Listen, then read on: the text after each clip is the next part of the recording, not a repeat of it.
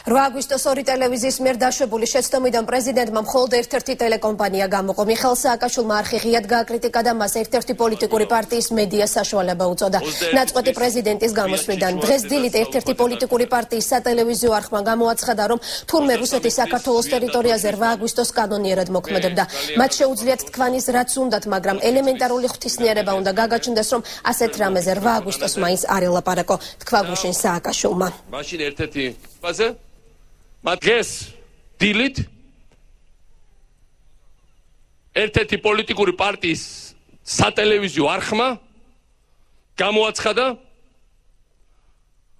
რომ რუსეთის ძალება რომელიც დაბომბეს ჩვენი ტერიტორია რომელიც შემოიჭრენ ფეხქვეშ გათელეს ჩვენი სოფლები ჩვენი ქალაქები ჩვენი ხალხის სიცოცხლე რომ თურმე რუსეთის არმია მოქმედებდა სრულიად კანონიერად საქართველოს ტერიტორიაზე. ერთია რომ გეზიზღებოდეს შენი მთავრობა.